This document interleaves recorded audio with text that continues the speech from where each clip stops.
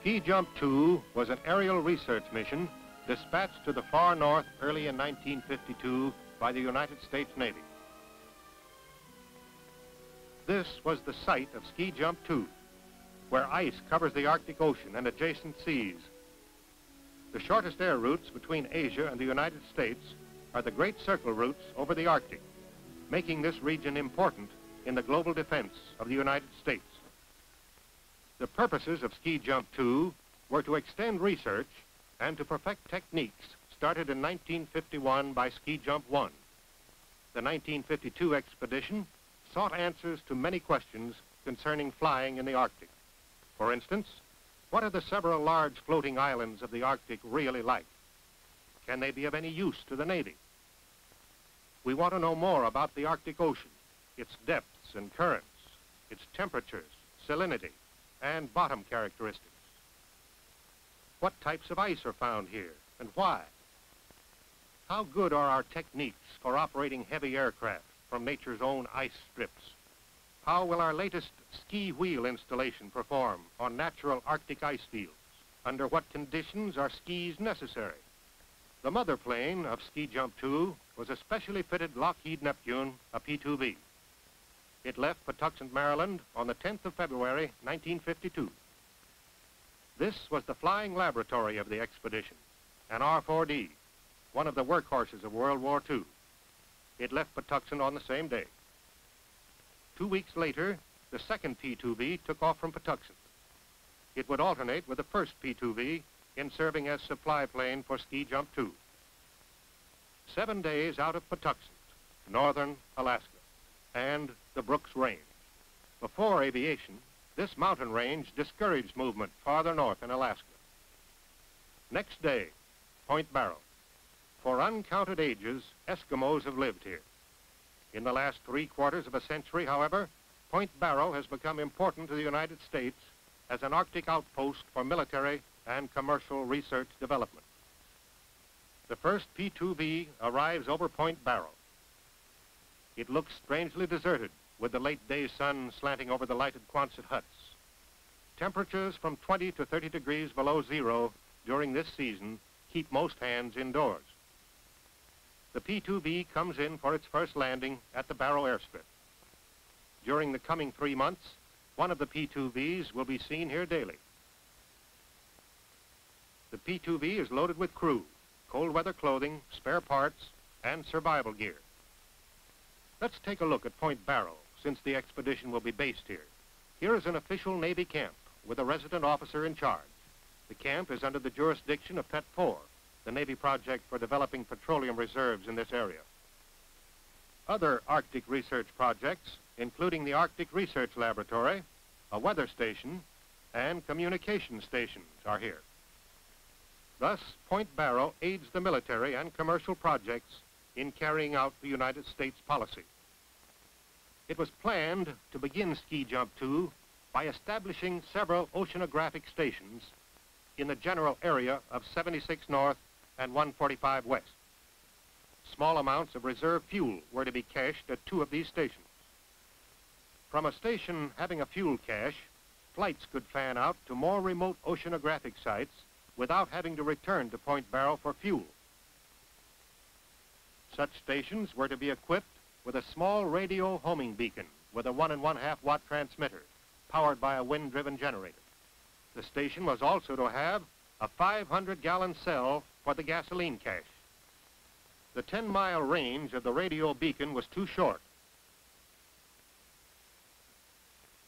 A much longer range is needed because the ice moves constantly and the beacon is seldom where the pilot expects it to be. A square search is often necessary to find it. This consumes valuable time and gasoline. For this reason, direct plane-to-plane -plane fueling was adopted, and fuel caches were established for emergency use. First, however, many local flights had to be made before the expedition could leave Point Barrow. These were to familiarize the crew with the area, to acclimate them, and to uncover any cold weather weaknesses in the planes. This experimental landing strip is two miles offshore from Point Barrow On one of the familiarization hops, a trial landing was made on this strip. Combination ski and wheel landing gear are seen here. In this type of landing, on smooth ice with a light snow cover, the skis are raised and only the wheels are used. It was not unusual to return to the Barrow airstrip after one of these local hops and find a new cold weather problem. These problems, ranging from minor leaks of various types to an engine change, resulted in a one-month shakedown period prior to beginning actual operations.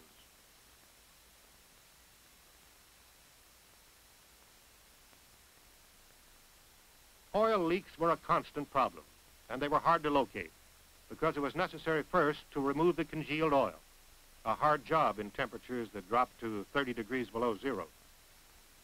Also traceable to the cold was the air-fuel induction system fire that made this engine change necessary. Low temperatures caused hydraulic fittings to leak, clamps to loosen, and tools and materials to become brittle. Small tools snapped during normal usage. The mechanics usually wore light leather or nylon gloves and used Herman Nelson heaters to achieve some degree of efficiency and comfort while doing maintenance work. Even so, repair jobs took three to four times longer than normal. All maintenance facilities available at Barrow, such as this portable work shelter, were pressed into use. This was necessary because no special maintenance gear had been brought by Ski Jump 2. Finally, preparations are made to depart. Aircraft are fueled from 50-gallon drums by means of a portable gasoline-driven pump. To keep its weight down, each plane is given only enough fuel to complete its mission with a two-hour reserve. Frost is removed from the wings with ordinary brooms. Engines are turned up for half an hour before takeoff. About 25 minutes are required to bring pressures and temperatures up to normal. Here the R-4D takes off for the expedition's first day of actual operations. Since the P-2V has a faster cruising speed, it departs later than the R-4D, so that both planes will be over the point of intended landing at about the same time. Aviation crews, oceanographers, and geophysicists, 10 highly trained persons per plane, depart for the site of the first oceanographic station. Off Barrow, the planes fly over the shore lead. The Arctic sea smoke seen here is caused by relatively warm open water coming in contact with cold air. During all flights over ice, the pilots and scientists keep a log of ice conditions. One hour before the scheduled rendezvous, the R-4D begins transmitting homing signals. These are continued until the P-2V comes within visual range. Once the rendezvous has been made, a search will be started to find a suitable landing area. Ice thickness is indicated by its color, but it takes a lot of experience before one can estimate its thickness with any high degree of accuracy. The lighter R4D lands first. The first job is to check the thickness of the ice. This is a crucial moment, and the plane is kept ready for instant takeoff in case the ice is too thin. When the saw starts bringing up water, the ice thickness can be measured. To support the loaded P2V, it must be at least four and one half feet thick. And the field must, of course, be long enough and smooth enough.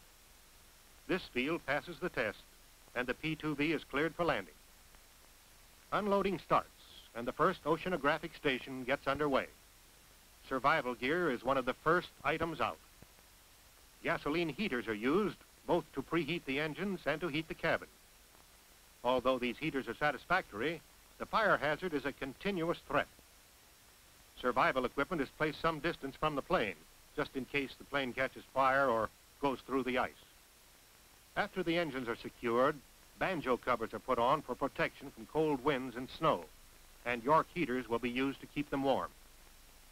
This auxiliary power unit, mounted on a sled, will be used as a source of electrical power. This 500-gallon neoprene gasoline cell will be filled and left as an emergency cache. The scientists begin collecting their data. Here, a geophysicist measures the force of gravity with a graviometer. About three hours later, with fueling completed, the P-2V warms up for the return trip to Barrow. It will return tomorrow morning with fuel and supplies for the second oceanographic station. Even on this unimproved ice field, the big plane takes off without difficulty. Where, as in this instance, snow cover does not warrant the use of skis, normal takeoff procedure is used. It is now the following morning, and the P-2V is returning to its rendezvous. The R-4D gets into the air as soon as the P-2V is sighted, and the two planes proceed to the general area where the second station is to be established. A suitable landing area has been found. The pilot sets the R-4D down very gently, feeling out the surface. Should the ice feel unsafe during this run out, he would make a touch and go for further investigation. In this case, the pilot is satisfied with the condition of the ice and makes a full stop landing. Out comes the power saw for measuring the ice. It is thick enough to support the P-2V. The P-2V taxis close alongside for fueling the R-4D. During fueling, survival gear is removed from the plane. The auxiliary power unit is set up, and preliminary work is done to establish the second oceanographic station. Meanwhile, the oceanographers commence their work. This power-driven auger drills a hole through the ice so the oceanographers can collect their data. This shelter is then rigged over the hole and the doorway of the plane. Heat from the plane keeps the hole, the water samples, and the scientist's hands from freezing. At each landing, ice conditions in the general area are studied. Here, one of the pilots is approaching a ropak. A ropak is a kind of pressure ice, a pinnacle or slab that has been forced into an upright position, sometimes as high as 30 feet. Other types of pressure ice in the area form interesting patterns. These surveys train the pilots and navigators in estimating ice conditions accurately from the air. Ice crystals such as these often occur in the Arctic area. Certain combinations of atmospheric conditions cause sublimation, that is, the change from vapor to solid, without going through the liquid state. And these delicate ice flowers are the result. Landings on natural ice fields are safe only during good visibility. On a bright day, even small snowdrifts are easily distinguished from the air. But in haze or overcast, ice and sky may blend together to form a whiteout in which no horizon is visible, and pilots might not be able to see a pressure ridge such as this from the air. The P-2V prepares to return to Barrow. Normally, two or three hours are needed to bring the work of an oceanographic station up to this point. But several more hours will be needed to complete the work. The first four oceanographic stations were set up in this manner. On the 26th of March, the P-2V left Point Barrow to rendezvous with the R-4D. The two planes then flew in company to the proposed site of the fifth station. Up until this time, all landings had been made on large areas of winter ice. That is, ice less than one year old, relatively smooth, with little snow cover. It makes the most desirable landing sites on the ice pack. However, north of the fourth station, areas of winter ice suitable for landing became scarce. Therefore, an ice field more than one year old had to be used for the site of the fifth oceanographic station. The P-2V gets ready to let down as soon as the R-4D has landed. A radio message from the R-4D advises that the area is rough. It is rough, and the landing strip is too short. The pilot tries reverse pitch braking, but the plane goes into a sideways skid. Smoke pours out of the port engine nacelle. The R-4D crew runs to lend a hand. Luckily, the fire is only a small one and is quickly put out. That reverse pitch didn't work very well. The left propeller went into reverse first and stuck there. The right would not reverse at all. This caused the plane to swerve, skid sideways through the drift, and damage the port ski. However, the bottom of the ski is not damaged, so a takeoff may be possible. The left prop has been restored to normal functioning, and the P-2V is warmed up. Despite the damaged ski, the decision is made to attempt a takeoff. It works all right. Notice how cleanly the skis slide. They hold the wheels clear of the snow most of the time. This ski installation is the result of three years' experimentation and testing. One recommendation resulting from Ski Jump 2 is that this ski installation be accepted as a model installation on any large aircraft using tricycle landing gear. For For ski takeoffs in the P-2V, full flaps, full nose-up elevator trim, and full power with water injection is used. Ski takeoffs are quite similar to seaplane takeoffs in that a definite hump speed is encountered. As soon as the aircraft becomes airborne, the elevator is returned to neutral trim. Once more, the P-2V heads back to Barrow, and the R-4D crew and the scientists turn to setting up an oceanographic station. Next morning, during a takeoff, the R-4D ran out of luck and struck a snow-covered ridge, collapsing the left landing gear. Shearing off the left propeller and buckling the outer panel of the left wing, Point Barrow radio informs the maroon crew that rescue will be delayed several days because of P-2V troubles. The crew immediately set up their survival gear and begin sorting out what equipment can be taken and what will have to be left behind. Instructions are received to clear a landing strip for the P-2V. All hands help level snowdrifts and small ice hummocks. After the runway is smooth, it is marked with bright red flags. Never had any plane looked so good to the handful of men of the flying laboratory. A signal fire is started with burnable gear too heavy to be evacuated by air. The smoke helps the P-2V to keep the spot in sight and enables the pilot to judge wind conditions. Circling the area, the pilot comes down low and looks over the landing strip very carefully. He brings the P-2V in slowly because this is a very short runway. He is holding the nose wheel off the ice to keep it from pounding and to increase drag. The strip is still not smooth, but compared to its condition when the first landing was made, it is much improved. Safely down, the big plane taxis back to the stricken R-4D. It hurts to abandon this faithful plane, but it's the only practicable solution.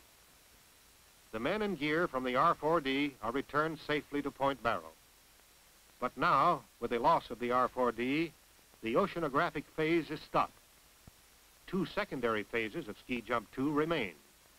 Investigation of the ice island, T3, and the ice survey of the area around Thule, Greenland. One P-2V leaves Point Barrow bound for the last known position of T3, which was about 120 miles from the North Pole. She is followed closely by her sister plane. After flying over an apparent endless Arctic wilderness, Ice Island T3 is sighted. Its gently undulating surface is easily distinguished from the surrounding sea ice. Most of the shoreline is characterized by cliffs from 20 to 30 feet high. The Air Force project Icicle had landed and made a small camp on T3 17 days earlier. Snow cover of two to four feet makes ski landings necessary. Since the Air Force has started a landing strip, the P-2Vs are provided with a proven landing area. This is the final test of the P-2V ski installation. Since the landings at Station 5, the inboard runners have been reinforced. The skis are now highly successful the Air Force welcomes the Navy aboard. The Air Force camp consists of a large tarpaulin-covered snow cave and several mountain tents. Three hours are spent at the camp discussing the island and its possible uses. The island is believed to be of land ice origin. Its center is about 50 feet above sea level, indicating that the island is about 400 feet thick. A decision is made for the two P-2Vs to fly over the nearby North Pole. However, shortly after takeoff, one P-2V experienced a valve failure and had to return to T3. Bits of fractured metal in the engine made an engine change necessary. This meant a long wait until the new engine could arrive. The other P-2V was instructed to proceed directly to Thule so that scheduled operations might continue.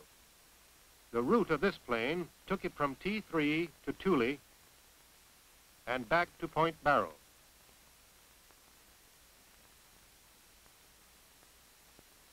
Meanwhile, there was work to be done on T3. The Navy crew turned to and built their own quarters. Survival tents were erected, and construction of a Jamesway hut begun. These 16-foot square huts, which resemble Quonsets, must be built on a level plot. The plywood floor sections are bolted together. Wooden frames and stringers are then put in place. and end walls are erected. The covering consists of two layers of canvas, separated by one and one half inches of fiberglass insulation. Several utility structures were built almost entirely of snow blocks. These blocks were sawed out and tailored to fit the structure. After two weeks, a new engine arrived. After four frigid days of round-the-clock man-killing work under most unfavorable conditions, the P-2V is ready. She takes off on the last two phases of Ski Jump 2 and flies the 120 miles to the North Pole. A landing is not made because neither a suitable landing site nor cover aircraft is available. The P-2V proceeds to Alert on the northern tip of Ellesmere Island, to Thule, and then back to Point Barrow. A survey of ice conditions is made along the way. And so, Ski Jump 2 came to an end. The project increased the fund of information about the ice islands, about characteristics of the Arctic Ocean and its currents, and about ice conditions in the Arctic. By means of Ski Jump 2, the Navy made its final evaluation of its P-2V ski installation and perfected the technique for operating heavy aircraft on unknown ice fields.